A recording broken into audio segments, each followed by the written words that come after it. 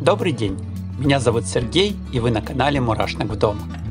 Сегодня мы продолжим обозревать древесных муравьев из разных уголков планеты.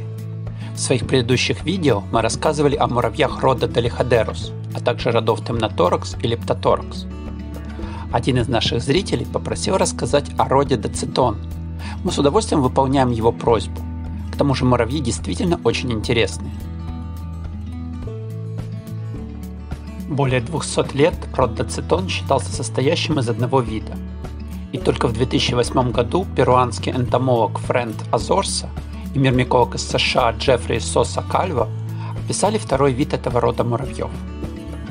Место обитания этих муравьев неотропика. Боливия, Бразилия, Венесуэла, Гаяна, Колумбия, Перу, Суринам, Тринидад и Тобаго, Французская Гвиана и Эквадор – Итак, давайте посмотрим на героев нашего видео поближе. Начнем с удивительной формы этих муравьев. Прежде всего привлекает внимание сердцевидная голова с длинными мандибулами. Мандибулы эти работают по принципу капканов, как и у известных среди киперов муравьев рода Антантомахус. Доцетон – это муравьи среднего размера, полиморфные, длиной от 7 до 8 мм. Живут в ветвях и стволах тропических деревьев, используя, как правило, ходы в древесине, оставленные различными древоточцами и естественные полости. Окраска светло-коричневая. На груди имеют 2-3 пары защитных шипов, самые длинные на предней спинке, немного изогнуты вперед. Теперь рассмотрим биологию и поведение муравьев рода Доцитон. Муравейники наиболее распространенного представителя рода Доцитон армигерум полигинные – то есть содержат несколько маток, и полидомные, состоят из нескольких взаимосвязанных гнезд.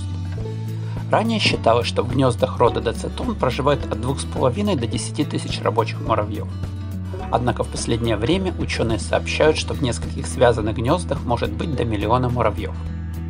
Муравьи рода доцетон являются активными хищниками, совершающими одиночную форажировку. Однако, если муравей обнаружит достаточно крупную добычу, то он может вернуться домой за подмогой, оставляя след из феромонов. Таким образом, данный муравей может поймать добычу, превышающую его размер в 90 раз. Охота происходит преимущественно в дневное время и осуществляется только крупными рабочими. Мелкие муравьи пределы своего гнезда не покидают.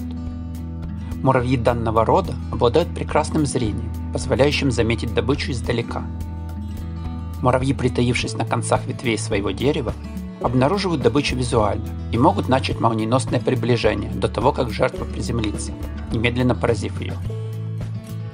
Для победы данный муравей использует два совершенных оружия. Первое – это его мандибулы, о которых мы уже упоминали. Это челюсти, которые работают по принципу капканов. Муравей раскрывает их на 180 градусов и фиксирует, словно взводя пружину, управляемую сильной мускулатурой. Между мандибулами находятся чувствительные волоски. Когда муравей бросается на свою жертву, то при соприкосновении с добычей волоски передают команду и страшные челюсти схлопываются с неимоверной скоростью и силой.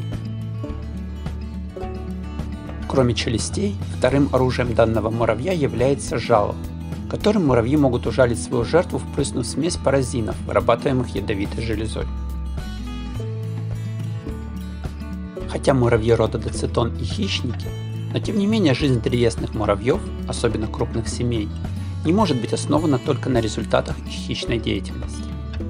Эти муравьи могут также использовать различные растительные источники пищи, такие как нектар, а также пать сокососущих двухкрылых. Среди уникальных свойств данного муравья также можно отметить умение планировать, используя в качестве планера свою огромную голову. Данное умение позволяет сорвавшемуся с ветвей или листьев муравью приземлиться на то же дерево, с которое он упал, и в результате отыскать свое гнездо. Наконец отметим, что муравьи рода доцетон проявляют как внутри, так и межвидовую агрессивность. И хотя некоторые колонии древесных муравьев, как например муравьи рода крематогастер, и могут ужиться с ними на одном дереве, но это не избавляет их от периодических нападений и грабежа пойманной добычи. Что касается содержания данного вида киперами, то в русскоязычных источниках пишут, что данный муравей в домашних условиях не содержится.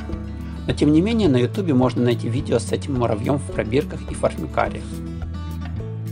Ну а на сегодня все. Если вам нравятся наши видео и вы хотите, чтобы они продолжали выходить, обязательно подписывайтесь на наш канал, ставьте лайк, пишите в комментариях, о каких родах муравьев вы бы еще хотели услышать. И до следующего видео!